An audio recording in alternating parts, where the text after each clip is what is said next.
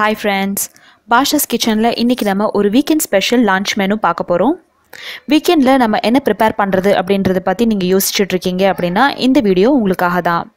Weekend special launch மெனுவில் இன்றைக்கி நம்ம பார்க்க போகிறது வெஜிடபிள் தம் பிரியாணி எப்படி செய்யறதுன்னு.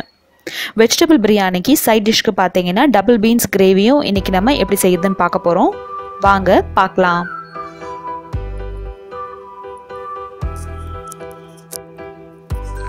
வெஜிடபிள் பிரியாணி ப்ரிப்பேர் பண்ணுறதுக்கு இங்கே தேவையான இன்க்ரீடியன்ஸ்லாம் நான் எடுத்து வச்சுருக்கேன்.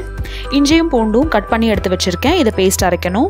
காய்கறியில் பார்த்தீங்கன்னா கேரட் பீன்ஸ் பட்டாணி பச்சை மிளகா கொத்தமல்லி புதினா வெங்காயம் தக்காளி எடுத்து வச்சுருக்கேன். பாஸ்மதி ரைஸை ஒரு அரை மணி நேரத்துக்கு நீங்கள் தண்ணியில் ஊற வச்சிடணும் ஊற வைக்கிறதுக்கு முன்னாடி ரெண்டு தடவை வாஷ் பண்ணிக்கோங்க.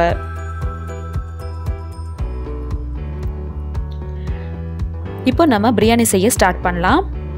ஒரு ப்ரெஷர் குக்கர் அப்படி இல்லைன்னா இந்த மாதிரி ஒரு பேன் எடுத்துக்கோங்க. அதில் ரெண்டு டேபிள் ஸ்பூன் நெய் சேர்த்துக்கோங்க. ரெண்டு டீஸ்பூன் எண்ணெய் சேர்த்துக்கோங்க.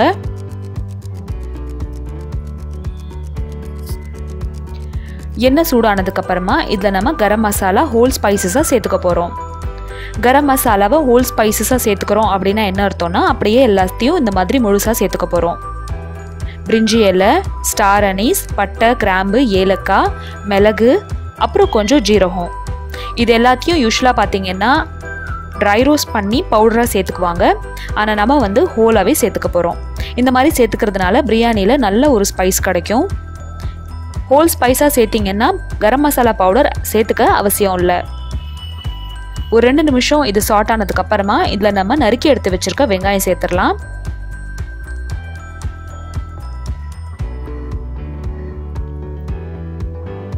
இந்த பேன் எனக்கு மேயர்லேருந்து அமைச்சிருந்தாங்க. இந்த பேனோட ஃபீச்சர்ஸ் அப்புறம் வந்து இதோட ரிவ்யூ வந்து நிறைய பேர் என்கிட்ட கேட்டிருக்கீங்க. ஃபீச்சர்ஸ் வீடியோ பார்க்கணுன்னா கீழே டிஸ்கிரிப்ஷன் பாக்ஸில் பாருங்கள் ரிவ்யூ வீடியோ வந்து உங்களுக்காக சீக்கிரமாக நான் போஸ்ட் பண்ணுறேன்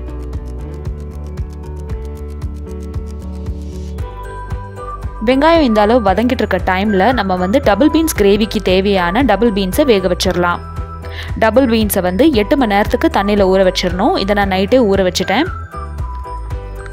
இப்போ இதை நம்ம வேக வச்சு எடுத்துக்க போகிறோம் டபுள் பீன்ஸ் பார்க்குறதுக்கு மொச்ச மாதிரி வெள்ளை கலரில் இருக்கும் ஆனால் கொஞ்சம் பெருசாக இருக்கும். இந்த கிரேவிக்கு இன்றைக்கி நான் ஒரு உருளைக்கிழங்கும் சேர்த்துக்க போகிறேன் அதனால் ஒரு உருளைக்கிழங்கை நாலாக கட் பண்ணி இதில் நீங்கள் சேர்த்துக்கணும். தேவையான அளவு தண்ணி ஊற்றிட்டு இதை நம்ம வேக வச்சு எடுத்துக்க போகிறோம்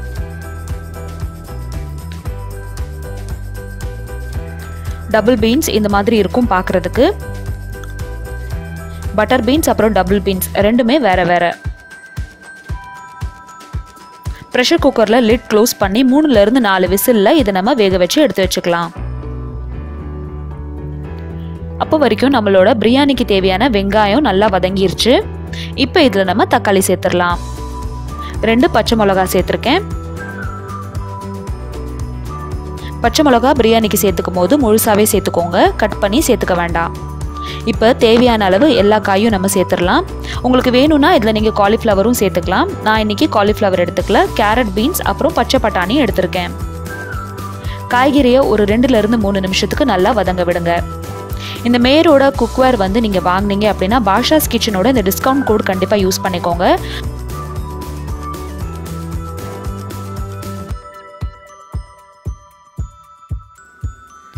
காய் இந்த அளவு வதங்கினதுக்கு அப்புறமா இதில் நம்ம ஒன்னேகால் டேபிள் ஸ்பூன் இஞ்சி பூண்டு பேஸ்ட்டு சேர்த்துக்க போகிறோம்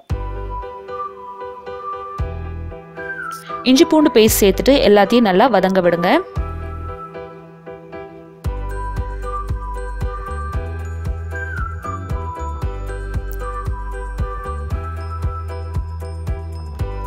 இப்போ இந்த கிளாஸில் தான் நான் அரிசி அளந்து எடுத்துக்கிட்டேன். இதே கிளாஸில் இப்போ நான் தண்ணி அளந்து எடுத்துக்க போகிறேன்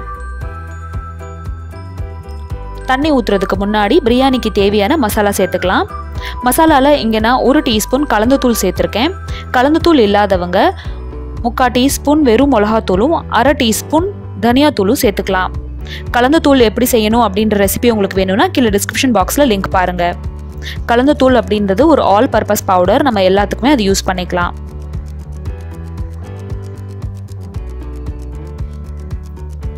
அடுத்ததாக இதில் எடுத்து வச்சிருக்க புதினாவும் கொத்தமல்லியும் சேர்த்துக்க போகிறோம் அதையும் ஒரு ரெண்டு நிமிஷத்துக்கு வதங்க விடுங்க. பாஸ்மதி ரைஸ் அரை மணி நேரம் ஊறிச்சுனா குழஞ்சிராதா அப்படின்னு நிறைய என்னோடய சப்ஸ்கிரைபர்ஸ் கேட்டிருந்தீங்க. ஆனால் பாஸ்மதி ரைஸை நீங்கள் அரை மணி நேரம் ஊற வச்சு அதை சமைச்சு பாருங்கள் ரொம்ப ரொம்ப சாஃப்டாகவும் நல்ல ஒரு டேஸ்ட்டும் அதில் நம்மளுக்கு கிடைக்கும். இப்போ நான் அளந்து எடுத்து வச்சுருக்க தண்ணியை ஊற்றிடுறேன் ஒரு கிளாஸ் அரிசிக்கு ரெண்டு கிளாஸ் தண்ணி ஊற்றணும் நான் எவ்வளோ அரிசி எடுத்திருக்கேனோ அதுக்கு டபுள் மடங்கு தண்ணி இதில் ஊற்றிருக்கேன் தண்ணி ஊற்றிட்டு இப்போ இதில் நம்ம உப்பு சேர்த்துடலாம். ஒரு கல் உப்பு எக்ஸ்ட்ரா இருக்கிற மாதிரி சேர்த்துக்கோங்க. அப்போ தான் சாப்பாடு போட்டு வேக வைக்கும் போது அது கரெக்டாயிரும் இப்போ லிட் க்ளோஸ் பண்ணி தண்ணி கொதிக்கிறதுக்கு வெயிட் பண்ணலாம். தண்ணி கொதிச்சதுக்கப்புறமா இப்போ இதில் நம்ம அரிசியை சேர்த்துற போகிறோம் அரிசியில் சுத்தமாக தண்ணி இல்லாமல் நல்லா வடித்து எடுத்துக்கோங்க. இப்போ நம்ம அரிசி சேர்த்துடலாம்.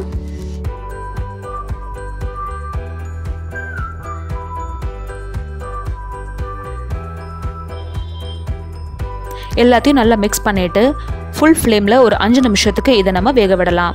ப்ரெஷர் குக்கரில் செய்கிறீங்க அப்படின்னா இந்த ஸ்டேஜில் லிட் க்ளோஸ் பண்ணி ரெண்டு விசிலில் ஆஃப் பண்ணிடுங்க ரெண்டு விசில் ஆஃப் பண்ணதுக்கப்புறமா ஒரு மூணுலேருந்து நாலு நிமிஷத்தில் அதோட ஸ்டீம் எல்லாம் வெளியே எடுத்துருங்க. இப்போ நம்ம வந்து இந்த மாதிரி ஓப்பன் பேனில் வேக வைக்க போகிறோம் அப்படின்றதுனால ஒரு அஞ்சு நிமிஷத்துக்கு அப்புறமா இதை நான் ஓப்பன் பண்ணுறேன்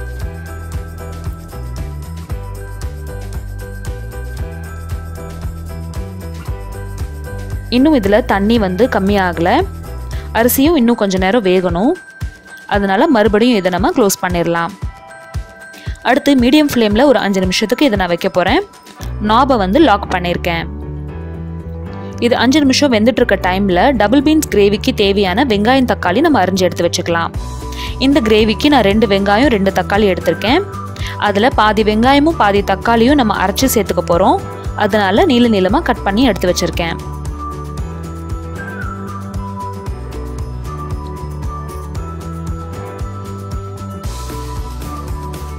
அஞ்சு நிமிஷம் ஆயிடுச்சு இப்போ நம்ம இதை ஓப்பன் பண்ணலாம். இப்போ பார்த்தீங்கன்னா அரிசி எழுபது பர்சன்டேஜ் வெந்திருக்கு. இந்த ஸ்டேஜில் சாப்பாடெல்லாம் கொஞ்சம் சாஃப்டாக இருக்கும். அதனால ரொம்ப மெதுவாக இதை வந்து நம்ம கிளறணும்.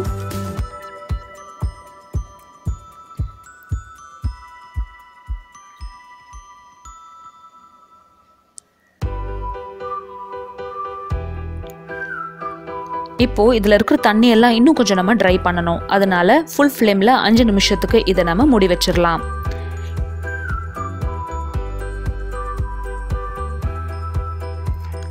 அதுக்குள்ள நம்ம வெங்காயம் தக்காளி பேஸ்ட் அரைச்சி எடுத்து வச்சுக்கலாம்.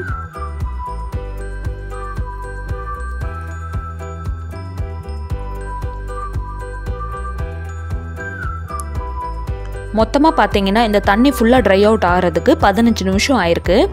பதினஞ்சு நிமிஷத்துக்கு அப்புறமா பாருங்கள் தண்ணி இதில் சுத்தமாக இல்லை ஆனால் கொஞ்சம் இதில் மாய்ஸ்சர் இருக்குது இந்த ஸ்டேஜில் தான் நம்ம வந்து பிரியாணியை எப்பயுமே தம்மில் வைக்கணும். தண்ணி சுத்தமாக இந்த மாதிரி ஆனதுக்கு அப்புறமா நீங்கள் ஃபுல் ஃப்ளேமில் வச்சிங்கன்னா அடியில் பிடிச்சிரும்.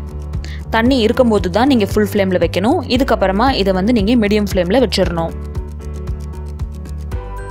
இப்போது இதை லைட்டாக கிளறி விட்டுட்டு ஒரு அஞ்சு நிமிஷத்துக்கு மீடியம் ஃப்ளேமில் வச்சிடலாம் வச்சுட்டு நம்ம வந்து அப்படியே ஆஃப் பண்ணிட போகிறோம் இந்த அஞ்சு நிமிஷம் மீடியம் ஃப்ளேமில் வைக்கும் போது ஸ்டீம் வெளியே போகாமல் இருக்கிறதுக்கு நான் வந்து இதை லாக் பண்ணிடுறேன். லாக் பண்ணிவிட்டு அஞ்சு நிமிஷத்துக்கு அப்படியே விட்டுறேன்.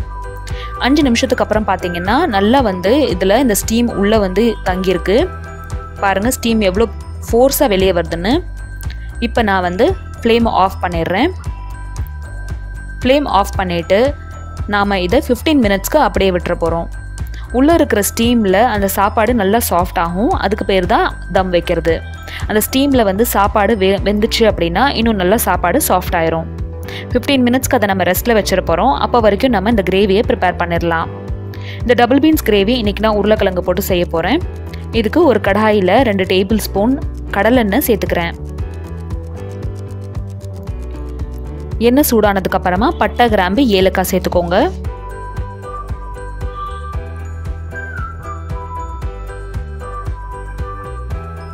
ஒரு சின்ன வெங்காயம் அப்புறம் ஒரு சின்ன தக்காளி இதில் நீங்கள் தாளிக்கிறதுக்கு சேர்த்துக்கணும்.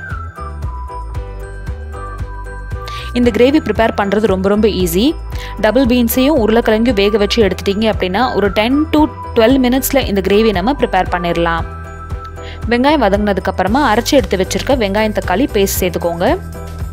அதையும் நல்லா மிக்ஸ் பண்ணிக்கோங்க. இப்போது இந்த வெங்காயம் தக்காளியை கொஞ்சம் கொதிக்க விடணும். அதுக்கு நம்ம கொஞ்சம் தண்ணி ஊற்றணும் டபுள் பீன்ஸ் வேக வச்ச தண்ணியவே இதுக்கு நம்ம ஊற்றிக்கலாம் உருளைக்கிழங்கெல்லாம் வெளியே எடுத்து வச்சுட்டு இந்த டபுள் பீன்ஸை வேக வச்ச தண்ணியை இதில் நான் சேர்த்துக்கிறேன்.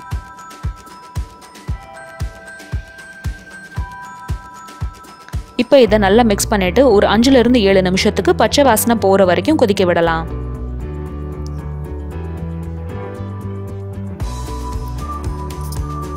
அப்போ வரைக்கும் இந்த கிரேவிக்கு தேவையான தேங்காய் பேஸ்ட்டை ரெடி பண்ணிக்கலாம். ரெண்டு சில்லு தேங்காய் கொஞ்சமாக தண்ணி விட்டு அரைச்சி எடுத்து வச்சுக்கோங்க. இந்த கிரேவிக்கு தேவையான உப்பு மஞ்சத்தூள் அப்புறம் வெறும் மிளகாத்தூள் இதில் நான் சேர்த்துக்கிறேன்.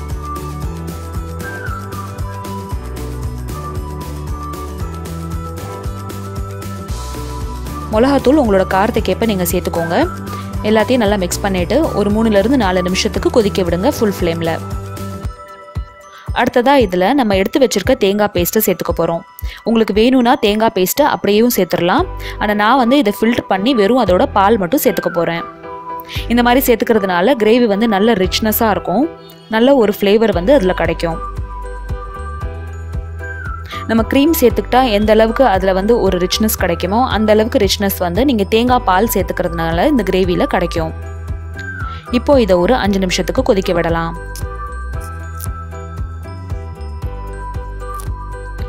அஞ்சுலேருந்து ஏழு நிமிஷம் இப்போ நம்ம கிரேவி நல்லா கொதிச்சிட்ருக்கு பச்சை வாசனையெல்லாம் போயிருச்சான்னு செக் பண்ணிவிட்டு அதுக்கப்புறமா வேக வச்சு எடுத்துருக்க இந்த டபுள் பீன்ஸையும் உருளைக்கிழங்கையும் இதில் நம்ம சேர்த்துக்க போகிறோம் கொஞ்சமாக கொத்தமல்லி சேர்த்துக்கோங்க. எல்லாத்தையும் நல்லா மிக்ஸ் பண்ணிவிட்டு இப்போ இந்த டபுள் பீன்ஸையும் உருளைக்கிழங்கையும் இந்த கிரேவிலேயே ஒரு அஞ்சு நிமிஷத்துக்கு கொதிக்க விடுங்க. அப்போ தான் இந்த உருளைக்கிழங்குலையும் டபுள் பீன்ஸ்லேயும் உப்பு காரம் நல்லா இறங்கும்.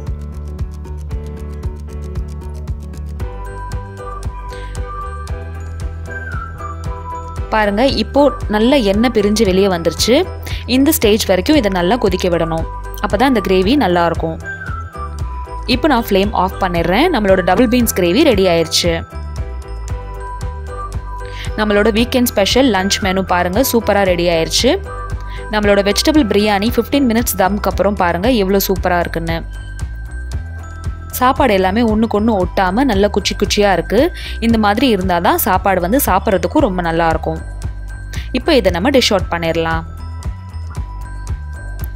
இந்த வெஜிடபிள் தம் பிரியாணி ரெசிபியோடு சேர்த்து இந்த கிரேவி ரெசிபி உங்களுக்கு பிடிச்சிருந்துச்சுன்னா இந்த வீடியோக்கு ஒரு லைக் கொடுங்க. என்னோட சேனலை ஃபர்ஸ்ட் டைம் பார்க்குறீங்கன்னா கண்டிப்பாக சப்ஸ்கிரைப் பண்ணுங்கள்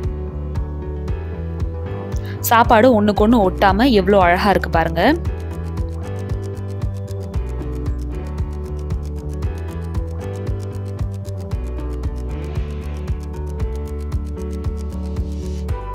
இப்போ நான் ஒரு அரிசி உங்களுக்கு எடுத்து காட்டுறேன். எப்படி வெந்திருக்குன்னு பார்க்கலாம். எவ்வளோ நீளமான அரிசி எவ்வளோ சாஃப்டாக வெந்திருக்கு பாருங்க. நம்மளோட வெஜிடபிள் பிரியாணி சூப்பராக ரெடி ஆயிடுச்சு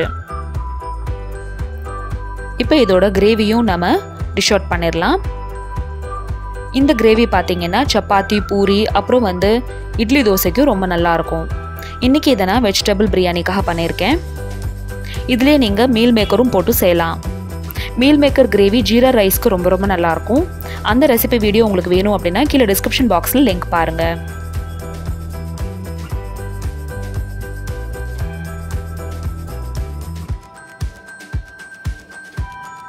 டபுள் பீன்ஸ் கிரேவி ரெடி